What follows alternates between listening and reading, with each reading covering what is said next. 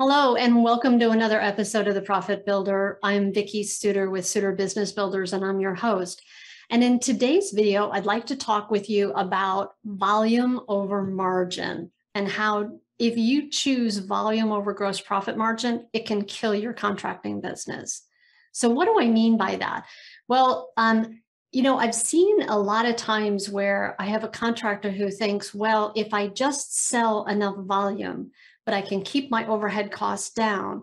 If I sell enough volume at a lower price, then what I can do is I can make up for my profits and I'll have higher profits because I've got higher volume.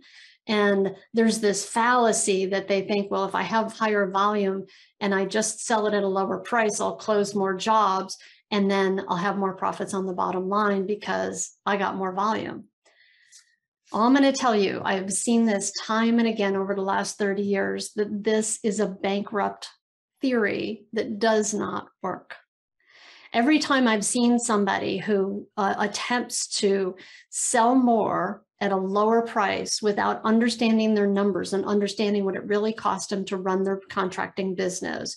I've seen that it affects their bottom line ultimately. And I've seen sometimes people go from um, I had one client who went from making um, a quarter of a million dollars a year to losing almost a half a million dollars a year because they employed that strategy during a recession. I had a client that I met with a couple of weeks ago, Sandy.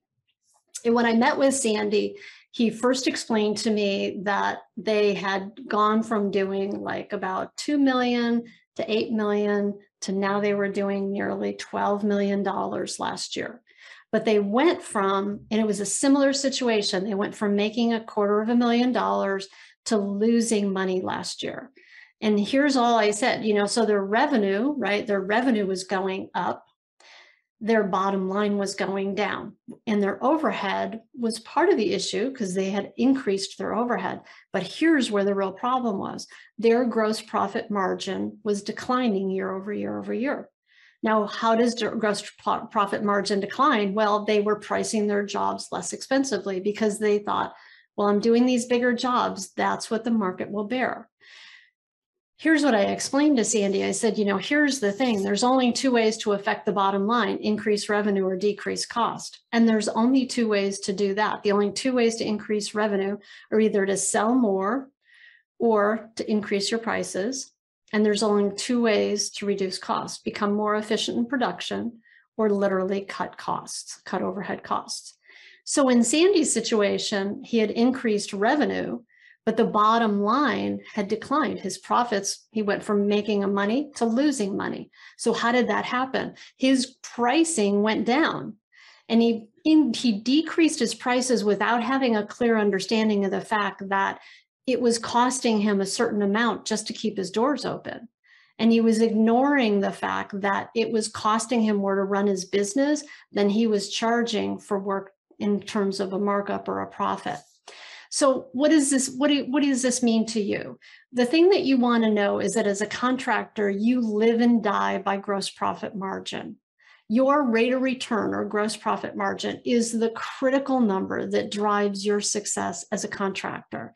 And as soon as you think and have some idea in your head that if I reduce my prices in order to sell more, I'll make more on the bottom line, it won't work. It will bankrupt your business.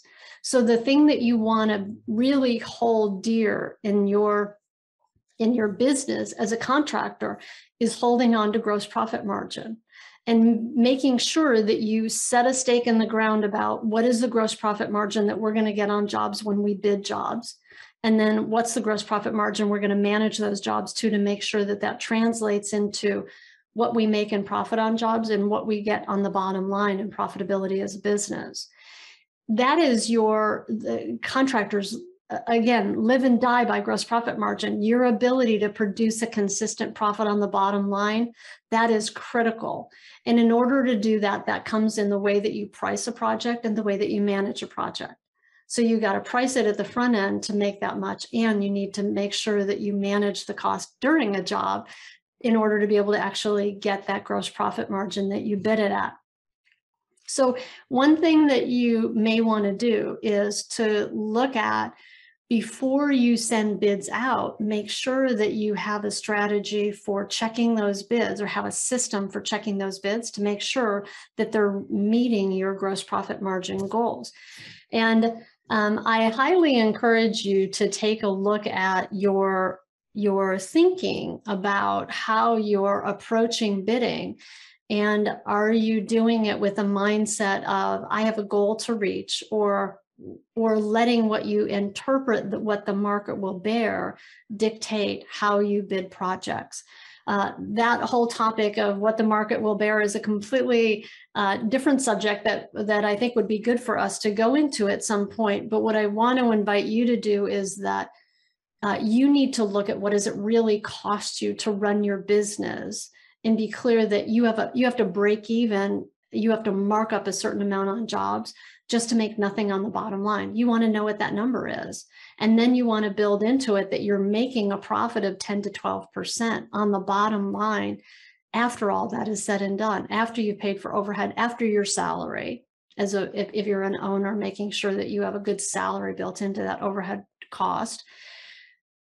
That's how much you should be getting on the bottom line. So if you're not, relook at what am I bidding? What's my pricing strategy when I'm bidding jobs? And keep in mind that if you think that you're going to make it up in volume, you won't. and that you really want to make sure that you have a stake in the ground number for how much you want to have in gross profit margin every time you bid a job before you get that contract signed. Um, feel free to go check out some of my other videos uh, on the topic. Of, I'm actually going to put a link below in this uh, in this YouTube video and in my blog post, I'm going to put a link to an article I have called Beyond Break Even that will actually show you exactly how to calculate the correct overhead break even percentage. By the way, a lot of people get that number wrong. So make sure to check it out and calculate that for yourself. I think that will help you. And the other thing that you might do is um, to go check out pricing for profit. Uh, there are a number of different articles under that category or videos that might help you out in terms of your pricing strategy. I hope you found this topic helpful. I'd love your thoughts and comments below, and we'll see you next time on the Profit Builder.